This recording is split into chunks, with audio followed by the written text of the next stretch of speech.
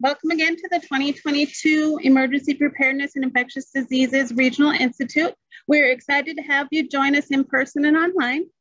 You are in the long COVID-19 prevention and treatment control session. My name is Carmen Sanders. I'm a member of the Makah tribe, and I serve as a public health project coordinator with the National Indian Health Board.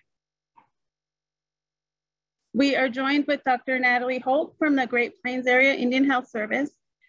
Dr. Holt will discuss, um, uh-oh. No, it's fine. We stop sharing. No, that's Dr. Holt. Okay, sorry. Thank you for your patience. um, she joins us from the Great Plains Area Indian Health Service. Dr. Holt will discuss how to distinguish long COVID from other medical conditions such as lung or heart disease. And she will also share evidence-based therapeutics for self-management. Thank you very much. Just want to see, uh, do you think my uh, slides are going to show up on the screen here as well? For those of you on the call, can you see my, uh, my screen right now? Off or on?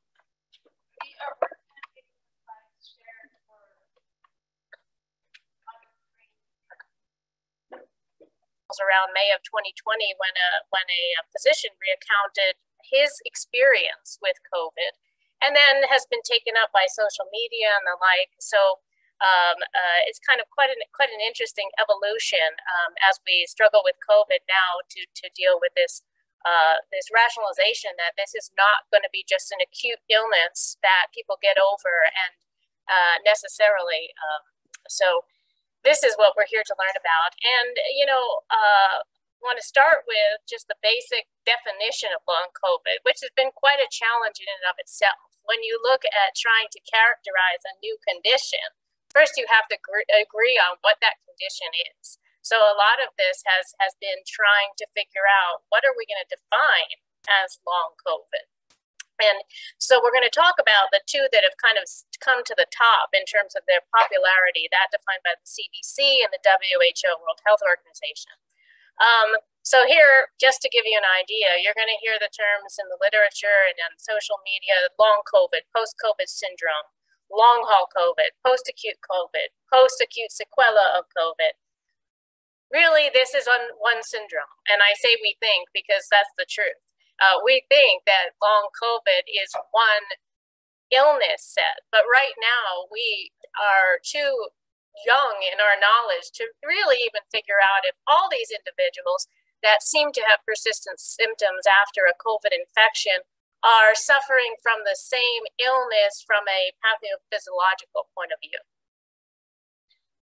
So here's the CDC's definition of long COVID. They've described it as the occurrence of new, returning, or ongoing health problems four or more weeks after an initial infection with the SARS CoV 2 virus.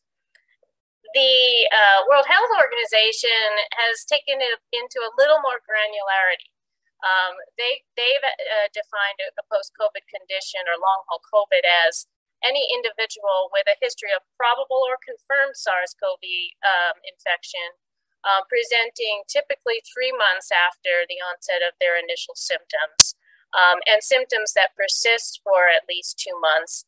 And I want to emphasize can't be explained by an alternative diagnosis. Uh, the common symptoms that are people are reporting are quite vague fatigue, shortness of breath, difficulty with attention, memory uh, problems. Um, and, and so uh, the other problem is that many people have a situation in which some days they feel well and other days they seem to have a reappearance of symptoms. So this is a waxing and waning course. So the important thing here is that unfortunately there's no test that can tell a provider if an individual is suffering from long COVID. Consequently, from a provider's perspective, you're always trying to look at the things that you don't want to miss that actually do have treatments before you give someone a diagnosis such as long COVID, where you're going to be in a scenario in which you're not going to have a specific treatment that can get someone better. So that's why we use the term diagnosis of exclusion. Okay. So I just emphasize those two points. There's long COVID that might be causing all these diffuse symptoms. Then there's a ton of other things that could cause these. And and if those other things have treatments, for example, you have a sore throat, sometimes it's viral, sometimes it's strep, right? If it's strep, we can give someone an antibiotic, right? If it's viral, that's not going to work. And so so that's where this has become very complicated. Not only are we having trouble with the definition, we also have no ability to confirm that, that whether a person is suffering from long COVID. So quite complicated from a scientific point of view. For that reason, you can imagine that trying to figure out the prevalence, how common this this condition is, is also quite difficult. Um, and and and we'll touch on that. I wanna I wanna say that um, even before COVID, providers have known for a long time that when people get a serious infection, particularly when they get hospitalized, need to be in an intensive care unit, there are long term consequences of, of something like that. And many of us have experienced that. If you have a serious illness, even if you break your leg or you break your arm, it takes time to recover. You may recover from an initial surgery or procedure, but recovery in the sense of getting back to your initial um, point of function and energy, that takes longer. The body gets deconditioned by the consequences of any acute illness, and this is and COVID is no different. So, so what I mean by that is that even before long COVID came into the literature, there were conditions that had been defined um, as a consequence of either getting a severe infection or from being hospitalized, particularly in the intensive care unit. And these are conditions that I've listed here. So we could be dealing with a post-sepsis condition. Sepsis is just a blood infection, right? That that could be COVID, could be anything. Um, then there's the post-intensive care unit syndrome. If you've had a relative who's been in an intensive care unit at all, it's very common for people to become confused in those settings, for them to lose their ability to distinguish night and day, for the sleep to be disturbed, because anyone who's been in a hospital setting knows it's not the most relaxing environment. There's always things going on, people poking you, people people shoving tubes in you, and, and all of that also has consequences. The other thing is that, as we know, COVID uh, seemed to more severely affect those who had pre existing medical conditions like diabetes, like high blood pressure, etc. Some of us, just because it was difficult to get health care during COVID, those conditions also got neglected. So some of, of the of the symptoms long term that patients with COVID are experiencing could be the result of their chronic conditions getting worse over that time frame. So it's very hard to parse that apart. And then, as I mentioned, you know, complications of treatments.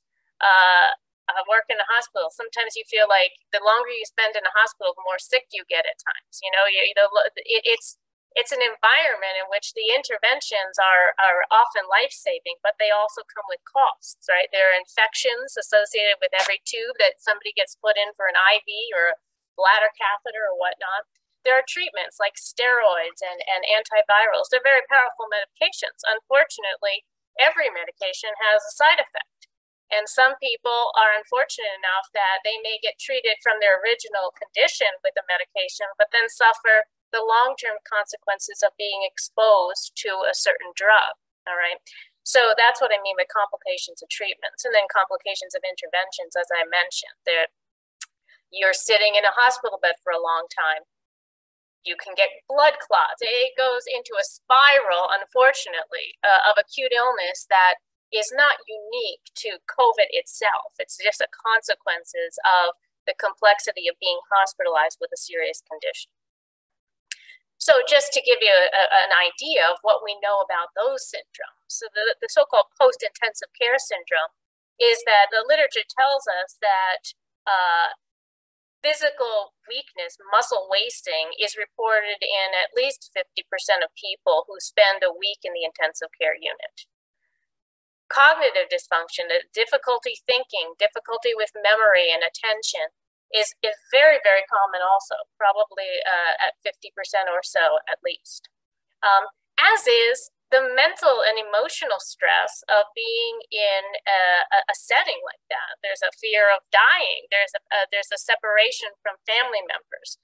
Um, there's the lack of knowing what your prognosis is. So it, it is clear that people who experience a serious illness um, and a life-threatening illness um, often have difficulty with sleep, with anxiety, with depression, that outlasts their their hospitalization.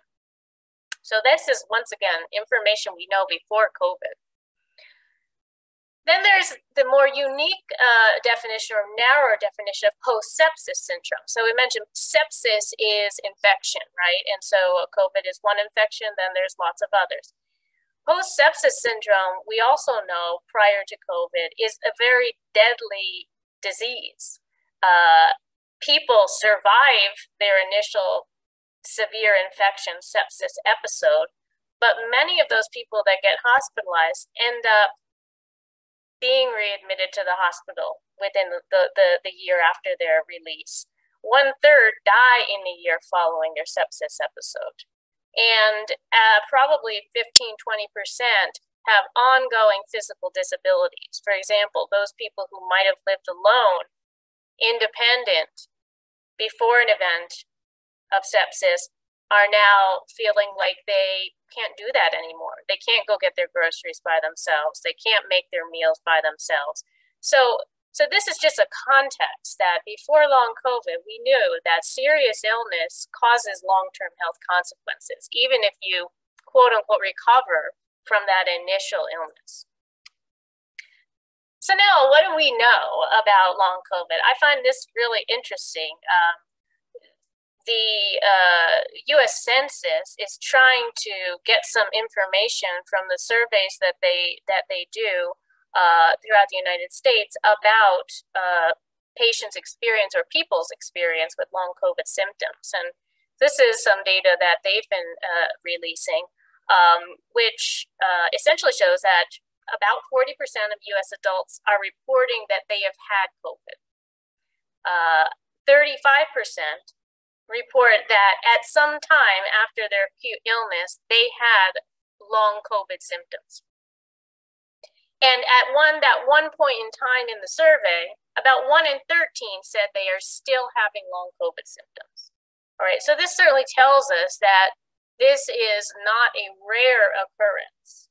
I think it also gives us some hope in the sense that if 35% reported that they had long COVID symptoms at some time, but seven and a half are reporting current, I do feel like there there is some hope in that data in the sense that it appears that the trajectory of the long COVID symptoms does go on a downward trend for most people. All right, so I think that's somewhat good news.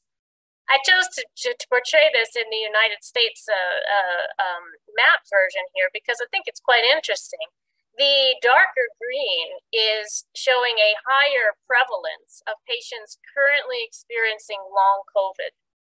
And if you note there, the Midwest, particularly South Dakota, right where we are, is actually quite a bit higher than the coasts, the, the East Coast, the California.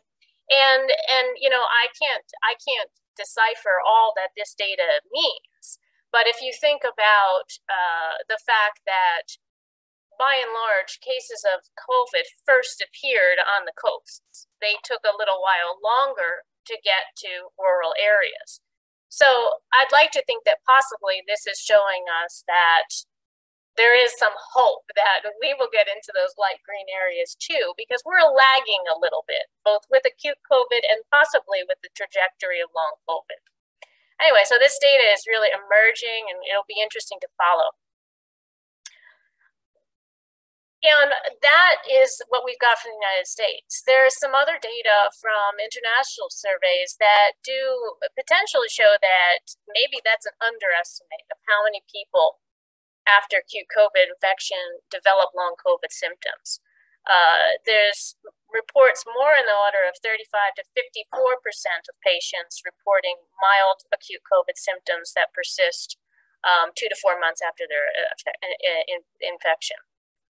And interestingly, there's quite a number of people, the majority, in fact, that report uh, symptoms that either resolved or reappeared after they felt they already got better. So I want to talk a little bit about risk factors. Um, as COVID as an acute illness evolved, we learned things about risk factors for acute COVID. Uh, older individuals appeared much more likely to be hospitalized. Those with diabetes, uh, obesity, those became risk factors. The risk factors for long COVID are probably less well known for many of the reasons that we've talked about difficulty with the case definition, um, difficulty with diagnosing. Um, however, I'm going to give you what, what's out there. It appears that hospitalization during an acute infection does increase your risk of experiencing long COVID symptoms, but we'll, we'll kind of qualify that as I go on. Seems also that females are more affected by long COVID uh, compared to men. Interestingly, as I just mentioned, mortality with COVID was definitely highest in the very old age group, okay, 80 plus.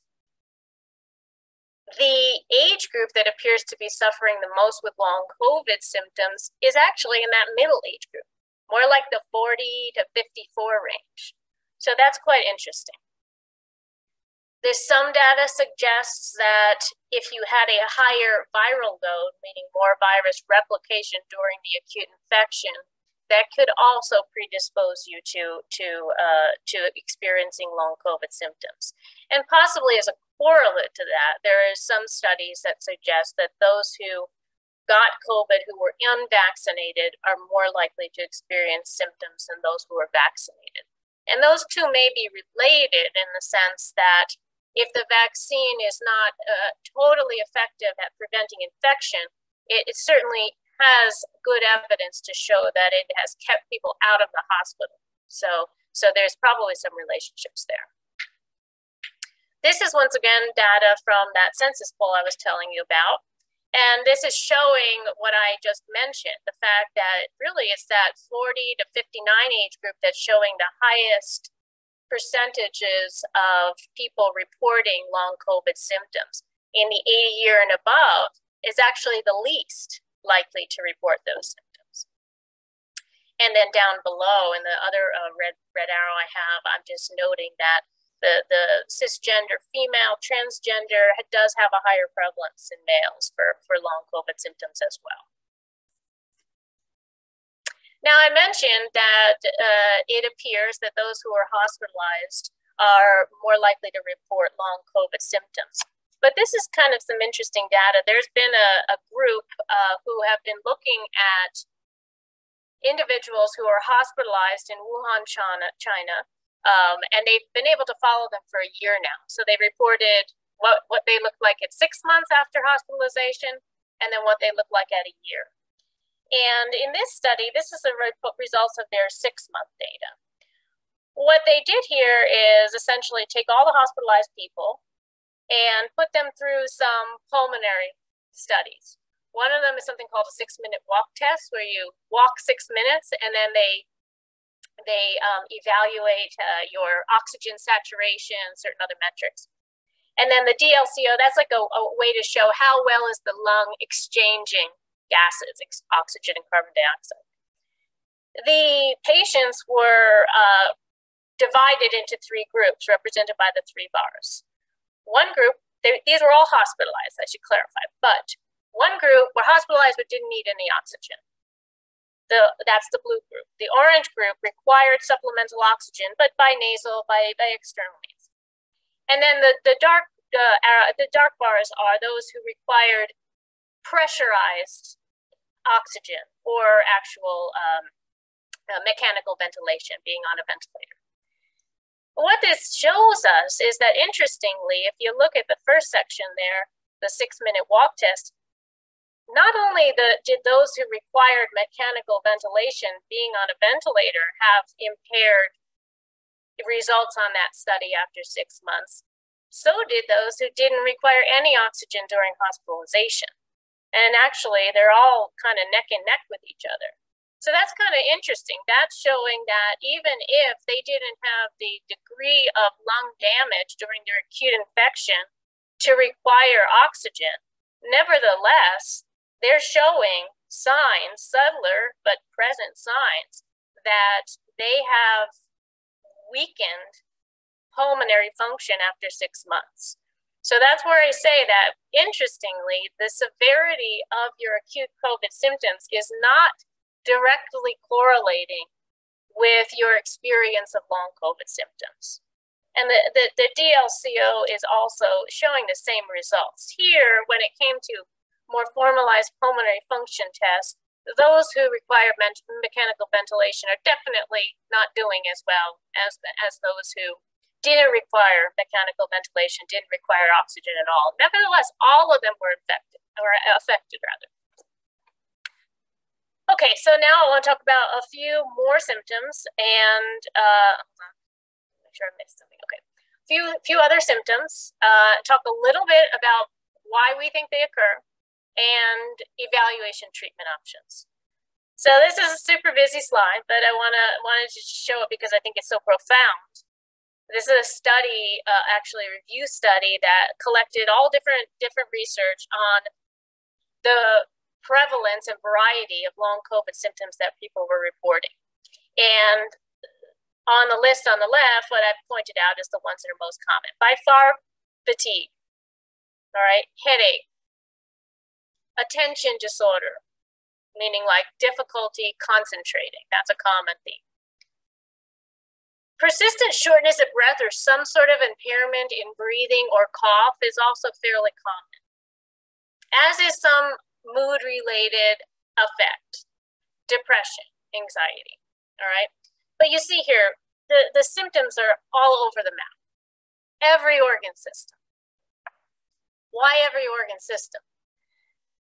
the COVID virus gets into the body cells via the this so-called receptor, something that's sitting on top of the on top of the cell's membrane, and it, it inserts and enters the cell, replicates. That something is called the angiotensin converting enzyme ACE2 receptor. This slide is showing us that even though when COVID was going on, we focused on the lungs, the ACE2 receptor, the virus's entry point into the body, occurs in lots of different organs. So that is more logical when you think about why do people have long COVID symptoms that appear to affect every organ system. All right. So what did the virus do? In the acute phase, the main problem with the virus is that it appeared to elicit a cascade of events that really revved up the body's inflammatory system. Okay. And so don't need to get too down in the details here with this, but there's essentially a, a very complicated renin angiotensin system within our bodies. And it's got kind of a good side and a bad side. All right. And essentially, the virus ramped up the bad side and stomped down the good side. All right. So, those are the technical terms on that. But bottom line is a inflammatory response, a propensity for clots, a propensity to grow such so-called fibrosis, which is essentially tissue that that is, is like scar tissue. All right. And that's why, you know, in the in the case of the lungs, that is normally these are nice fluffy cells that allow us to exchange oxygen and, and carbon dioxide, right? What happened in the lungs is this inflammatory response elicits cells that essentially create scar tissue. And that scar tissue no longer can do those oxygen exchange functions all right? So that's kind of the, the, the basic version of what the virus did in the cells and this is a little bit different depiction. A kind of uh, everyone, I think, responds to pictures different, but this is what I was kind of showing you. Um, that essentially think of this as the the pro-inflammation, fibrotic, thrombotic side getting overcome as a result of this imbalance created by the virus. And, and again, we don't have to go into super uh, detail about this, but the story in each organ system is basically the same. The virus binds through this ACE2 receptor. It, it elicits a response which revs up all of the inflammatory cells in the in our body and it creates this environment in which effectively scar tissue is created all right. And so in the in the case of the lungs, that response in terms of a patient's symptoms is shortness of breath, difficulty exercising. And when we take pictures of a lung, if someone takes a CT scan, what you typically are going to see is instead of nice black cells with light white, you're going to see white. You're going to see scar and that is something that that uh, a, clinicians would see as ground glass opacities and and pulmonary fibrosis. Should emphasize ground glass opacities, pulmonary fibrosis. Those are those are the results of a lot of different illnesses. So unfortunately, that's why they don't they don't really give us that diagnostic clue either. They just kind of paint the picture that says, geez, it seems like this person may be suffering from long COVID. So, from a patient's perspective, what, what does this look like? As I mentioned, persistent cough, usually a dry cough, shortness of breath, fatigue, those are the most common symptoms. Some people tend to also experience um, more on the order of palpitations, dizziness, which is worsened by exercise the um, the pathophysiology also suggests that some of this may be that when the virus affects muscles, it essentially weakens those muscles, causes a fibrosis type reaction in muscle, which can affect people's breathing. So that may be some of this as well. In terms of evaluation and treatment, uh, the tests that, that are recommended at this point is really first to to exclude other conditions, right? If someone has these symptoms, a doctor is going to want to make sure this isn't any sort of acute heart problems, uh, that this isn't uh, any sort of other acute lung problems. So the tests that you're going to do are not specific for COVID. They're more, or the or long COVID. They're more in general. Is your heart showing any signs uh, of, of dysfunction? What is your what are your breathing tests showing us? And so generally speaking you know we like to ramp up from the things that are least invasive to then most invasive. So simple tests like the six minute walk test that i mentioned another test called a timed up and go. You literally sit on a chair get up walk around and you do that like five or six times and it's timed. And if you have problems with that it tells us a lot. It tells us a lot about your ability to do light exercise your physical strength and your muscles getting up and out from a chair. So there's a number of things that you can get from from very low low cost tests like that. So that's what you want to do first. As I mentioned, someone may decide, particularly if a patient comes in, usually they don't have one thing wrong with them. They might have a history of smoking, they may have exposures, right?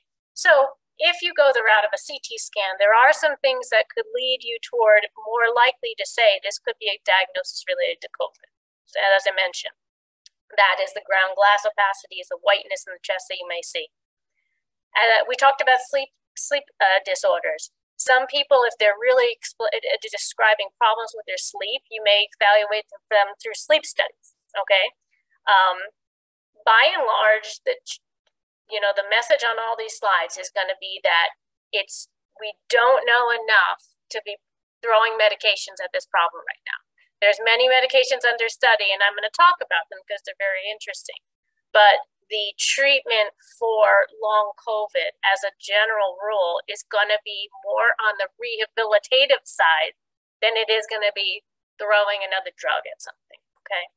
And so, uh, generally speaking, that's going to be uh, graded exercise programs, breathing programs, um, really uh, things that, that need to be done in a multidisciplinary fashion. And, and many major medical centers are developing clinics with that in mind that this is multidisciplinary. This is physical, but it's also emotional. If people are depressed, they're not going to want to do things. They're not going to get up and do exercise. So there's a lot of components here. I, I threw a few threw, drugs out there because I think it's always interesting to know what's on the horizon. In general, the drugs for the lung uh, complications of long COVID are the ones that we would use for patients who had pulmonary fibrosis from other reasons. So they're particularly all those drugs.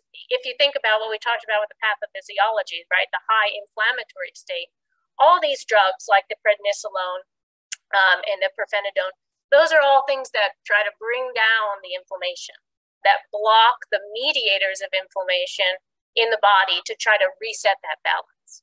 All right. So cardiovascular, same same kind of thing. Uh, gets into the blood cells, causes this cascade, which leads to myocardial injury, can show up in just like even, even a heart attack would show up in. Some patients get elevated troponin markers. Then you seem to have this this replacement of efficient tissue in the in the in the heart with tissue, this fibrotic tissue that does not pump well, does not does not do the the actions that our normal heart heart uh, uh, does. So here, and we'll talk about a little bit in more detail later, um, symptoms are mostly on the order of uh, uh, uh myocarditis, which is like a low-grade inflammation in the heart. Couple of the unique things that, that we've known about a syndrome called postural orthostatic tachycardia syndrome, all commonly seen as POT syndrome. We've known about that syndrome in the medical literature for a long time. It's typically very rare and most commonly associated with, with the females of childbearing age. But it seems that with acute COVID, certain fraction of patients with long COVID are experiencing symptoms that we would we would say are characteristic of POT syndrome. And that's a very complicated illness that causes a, um, uh, a lot of debilitating um, uh, uh, symptoms for patients chronic dizziness, uh, feeling like they just have no energy. Um, most patients with POTS, it's severely affected their lifestyle. Um, in young people, you may have heard this in relation to the vaccine, but also in COVID, a, pay, uh, long COVID is a unique type of inflammatory or fibrotic condition, particularly in young, and, and it seemed to be a little more common in males. We'll talk a little bit about that. But evaluation here, once again, you're going to be evaluating globally for heart function. Your electrocardiogram that, that you get in the doctor's office.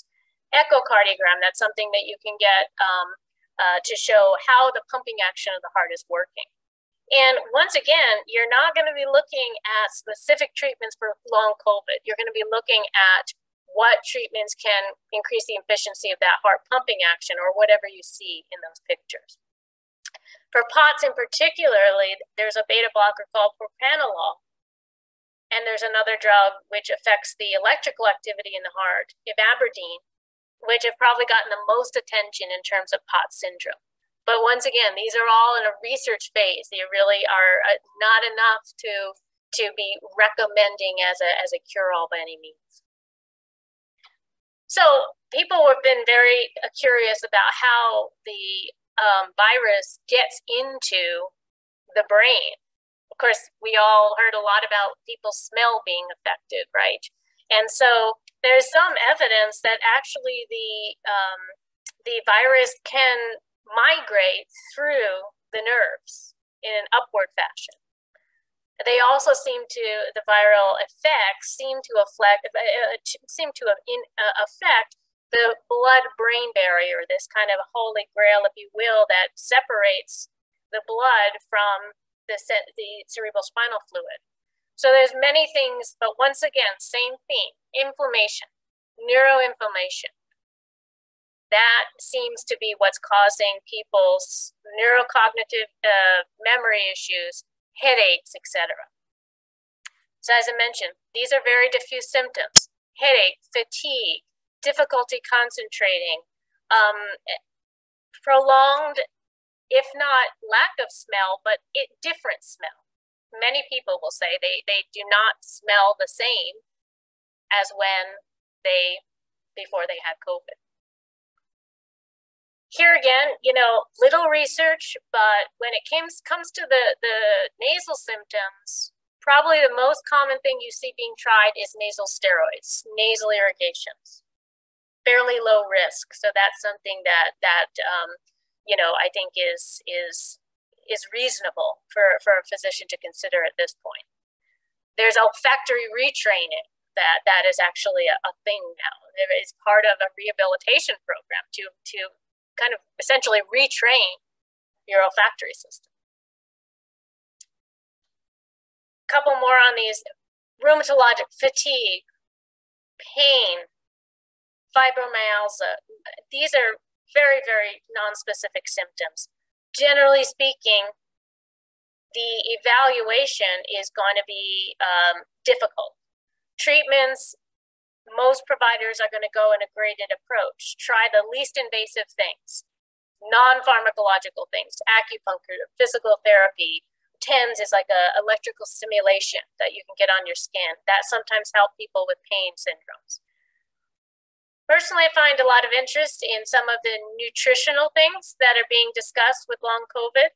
Um, some patients do have recognized electrolyte deficiencies that can be subject to repletion. Um, mood related, we're mostly going to antidepressant type drugs selective serotonin reuptake inhibitors. Um, uh, those are probably the most common, very good safety profile. And again, you may be depressed and anxious because of COVID. You may also, long COVID, right? You may also because you've had job disruptions, you have financial strains, you can't do what you used to do. So it's so difficult to tease out what is long COVID per se, but what are the effects of having two and a half, three years of what we've been living through. And then uh, we kind of we talked about this a little bit, but but the emotional mental health I think can't be underestimated.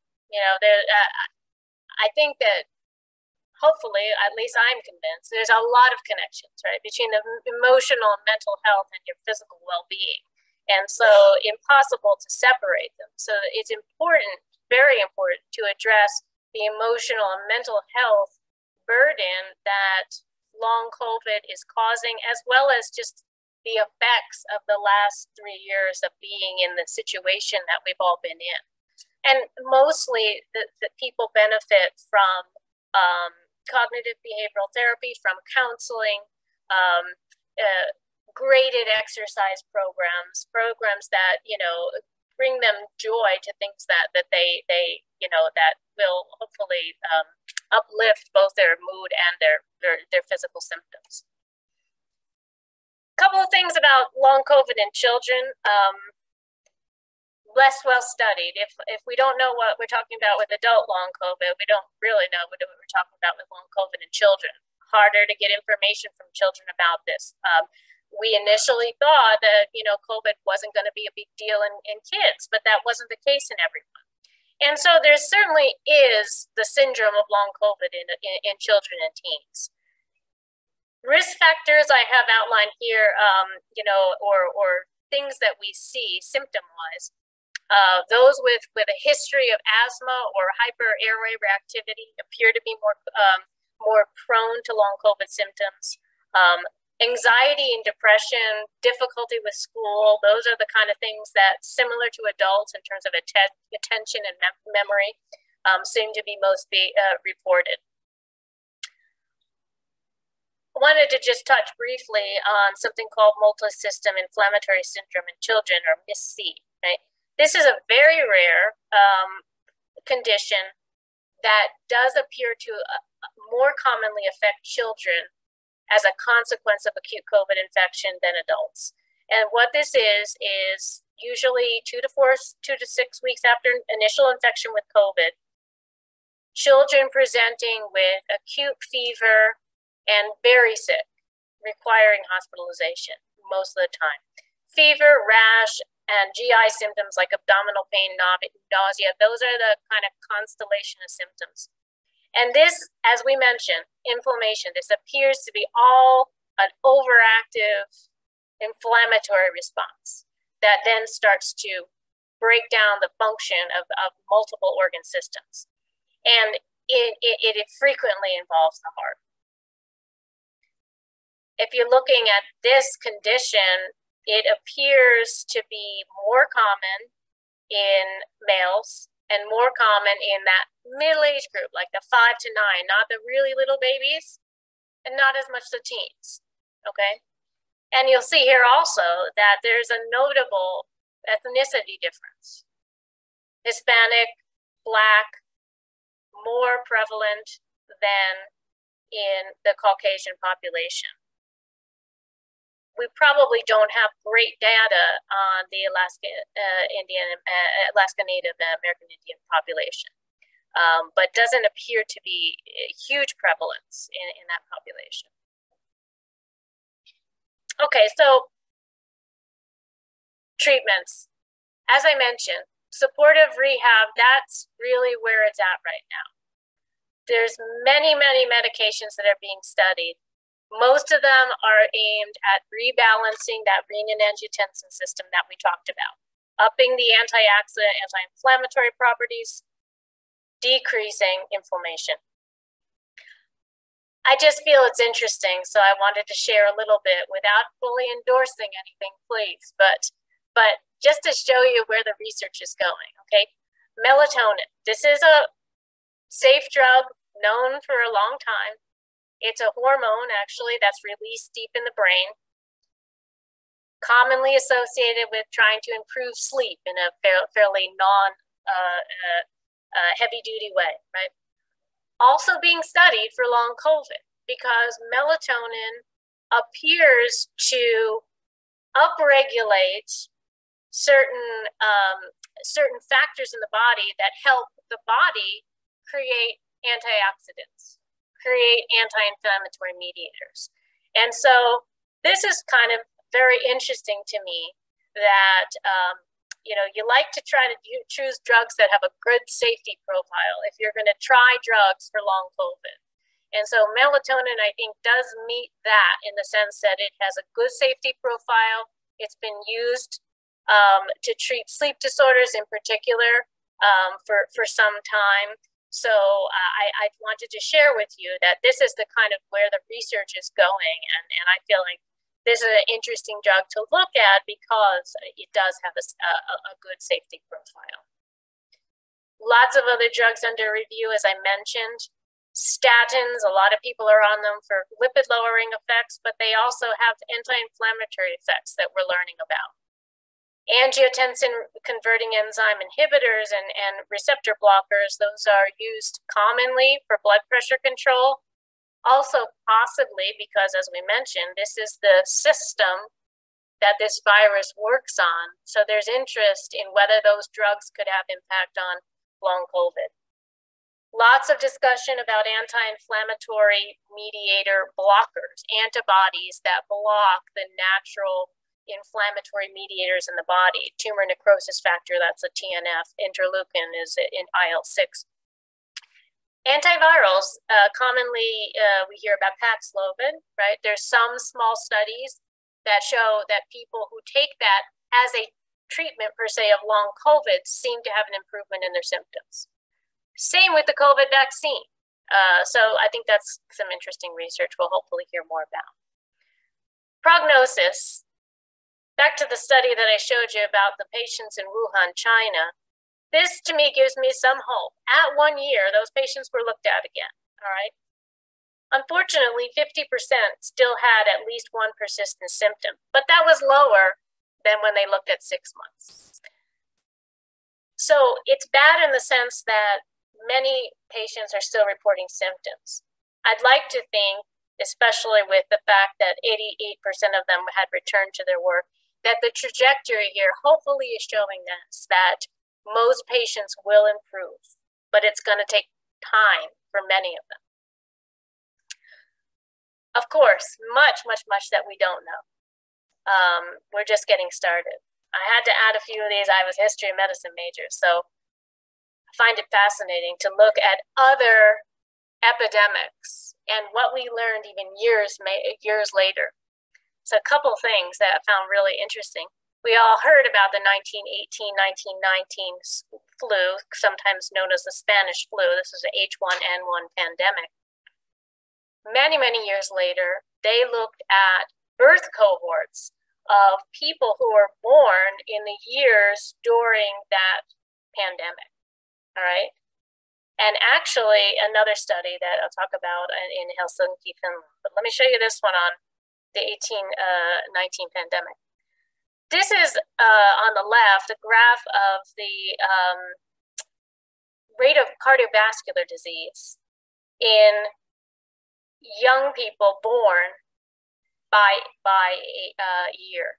And you see that this study is suggesting that in their middle in their later uh, adult years 60 to 82 range those who were born during the pandemic actually had more cardiovascular disease than the birth cohorts before or after. Looking at some data from military recruits they also seem to be shorter than their peers in age eh, born before the pandemic or after.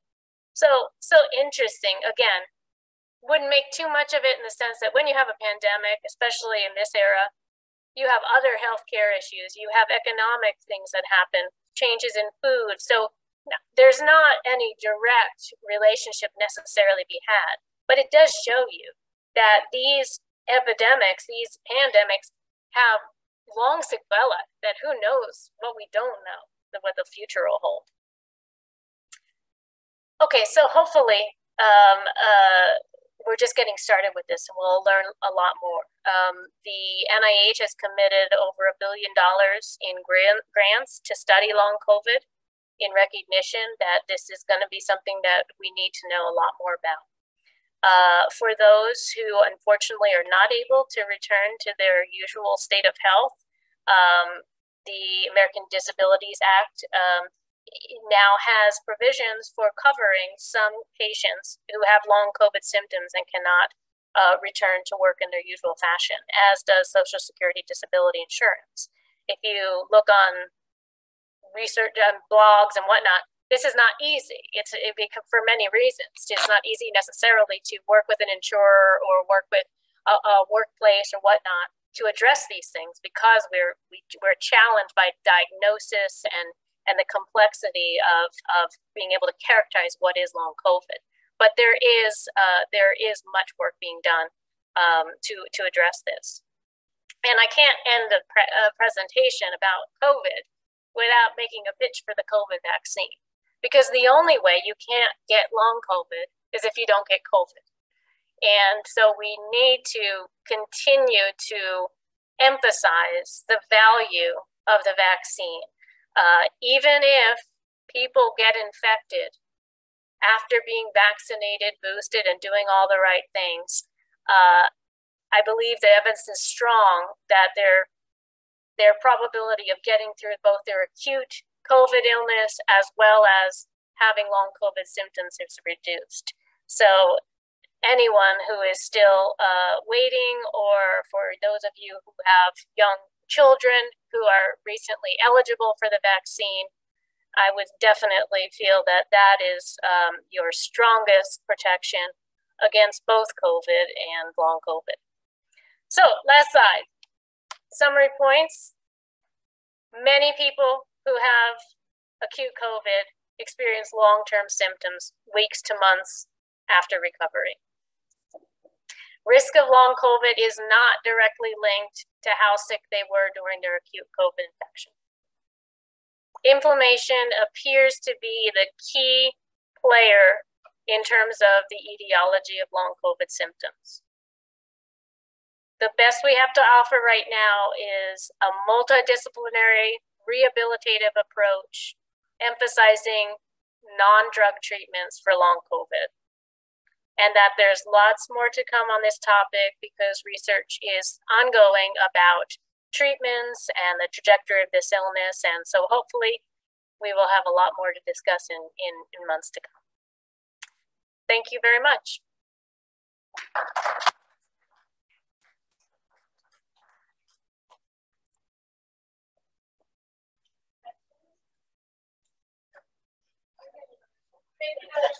Thank you. Uh,